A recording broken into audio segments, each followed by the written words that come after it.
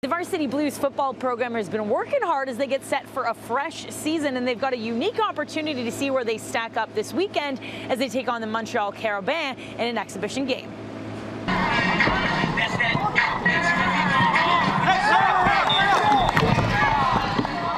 It's the first time in 155 seasons of football at U of T that the Blues will take the gridiron opposite the University of Montreal in an exhibition game Saturday.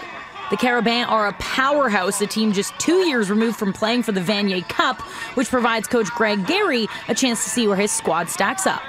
I think it's a great test for our program.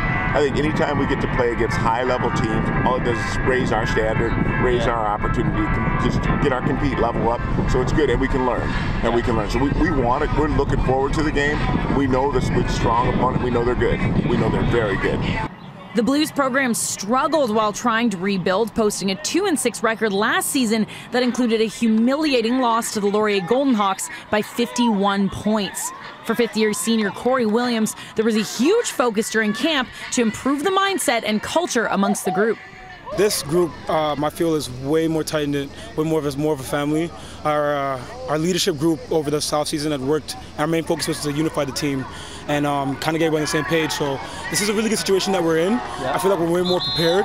Our OC and DC that came in are fantastic. Coach Syria and Coach Mully, they've done a really good job getting us on the right page, and Coach Gary doing anything in his power to help us. One of those veteran voices is newly signed quarterback Connor Ennis. The Washington State native has two seasons under his belt for the Cougars and sees the Canadian game as a big opportunity to be a playmaker.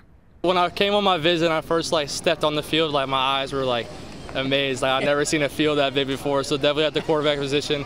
Um, it's definitely something that we can take advantage of. You know, having the big field um, and an extra guys, it's awesome. OUA is obviously really strong conference. I even heard it was kind of compared to the SEC back in the state. So once I heard that, I was really excited to kind of get in here and you know just play everyone in the league.